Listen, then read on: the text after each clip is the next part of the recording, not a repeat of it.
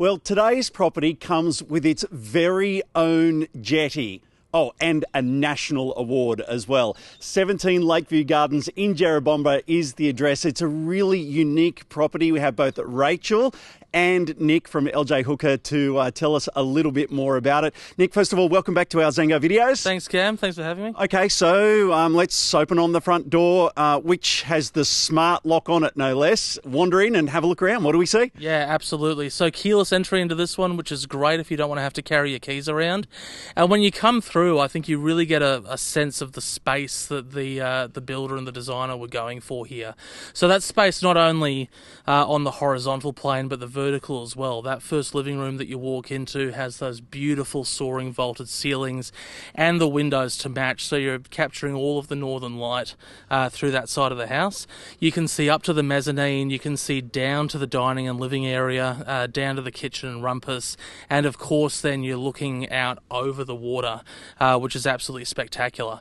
So you've got four bedrooms here, plus a rumpus room, plus the landing outside the bedroom, which is such a versatile space.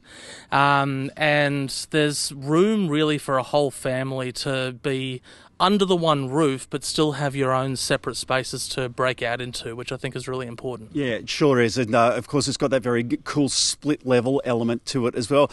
Rachel, Nick's done a pretty good job of uh, painting the picture, but there's some really quirky elements to this place as well, isn't there? Yeah, so it actually has its own intercom inside the house, so you can speak to each other from upstairs, downstairs, wherever you are.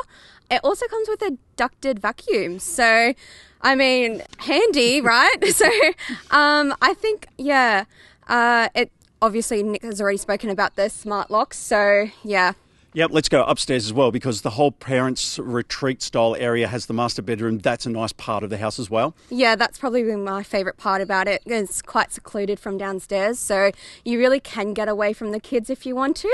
And yeah, obviously you have your own little area there, plus plus the spa bath in the bathroom. So yeah, it's quite special up there. Nick, I know you've had some people through when they wander through and have a look around. What are some of the things that you're hearing them talk about?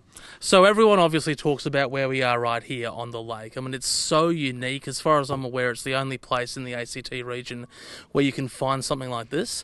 And so that's been the major draw card. But further to that, uh, being where this house is in that development, at the end of the cul de sac, you've got parkland on one side of the house, and then obviously the water on your other boundary. So, you've only got one neighbour here meaning that it's quiet, it's private, it's nice and safe, um, and you really feel removed from you know the rest of the town. But you've still got that shopping centre just down the road. You're still a 15 minute trip into Canberra, uh, so there's a real lifestyle on offer here. So, Rachel, for you, what's your favourite part of the property? Look, I already said the top part was definitely my favourite, but I love how spacious this house is. Uh, it's got that real homey feel to it.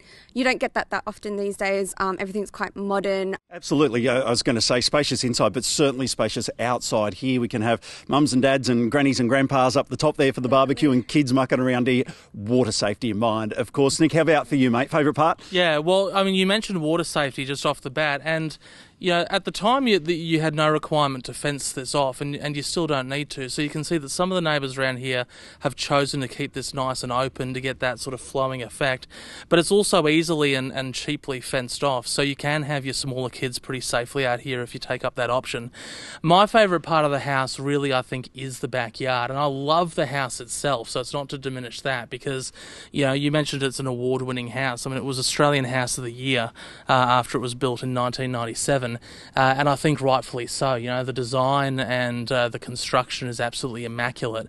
But I think why you're buying it more over that is to be able to be out here, to to enjoy the uh, evenings out here, to host parties out here.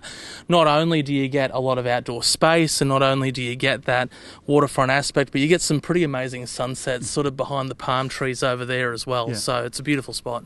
Wonderful, mate. All right, uh, finally, when and how are we selling? So we are selling by auction. It's going to be the 17th of June at 1:30 p.m. Wonderful. All right, Rachel, thank you so much for joining us. Thank you so much, Cam. Okay, you too, Nick. Thanks, Cam. All right, come and have a look at Jerra.